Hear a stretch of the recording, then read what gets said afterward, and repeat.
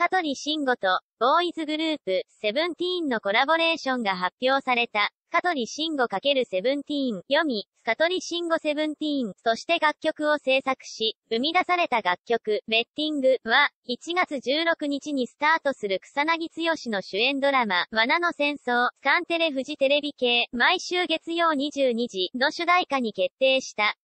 香取慎吾×セブンティーンがコラボ香取とセブンティーンは、昨年の夏に出会い、交流を深める中で意気投合し、今回のコラボレーションをスタート。セブンティーンが、日本でのアーティストコラボレーションは初めての取り組みとなり、期待感あふれるプロジェクトが誕生した。セブンティーンメンバーでグループの音楽制作を牽引する王子、宇治、音楽プロデューサーバンユー、モムジュ、と、カトリが幾度となく意見交換を繰り返し、メロディー、トラック、歌詞の細部に至るまで双方の関わりが詰まった楽曲、ベッティングは、現在も制作が進行中。音源はドラマ初回放送時に初解禁される。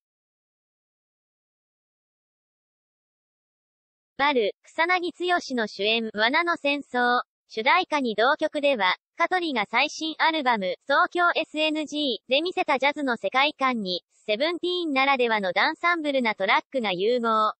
ドラマの内容も連想させる歌詞は、壮観なドラマの世界観に花を添える完全書き下ろしの日本オリジナル楽曲に、